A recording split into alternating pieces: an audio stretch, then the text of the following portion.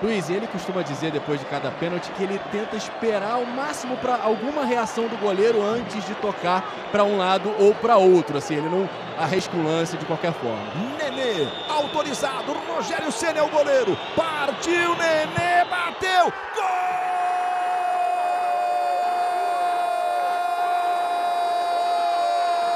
Gol do Vasco!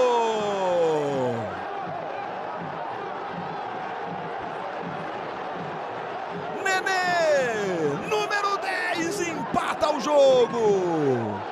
Esperou mesmo um pouquinho sem dar paradinha. É fácil não. Quer ver agora lá? Deu aquela olhada. Rogério também ficou esperando. Nenê foi gelado. Olha como o Rogério também espera. E ele bate no canto direito baixo do Sene. Aos 45 para empatar o jogo. Bom jogo do Morumbi. Gol de Nenê, o sexto dele no Campeonato Brasileiro, cinco de pênalti. Fez todos. Juninho, tá tudo igual no finzinho do primeiro tempo. Bate muito bem pênalti Nenê, com muita tranquilidade, com muita categoria.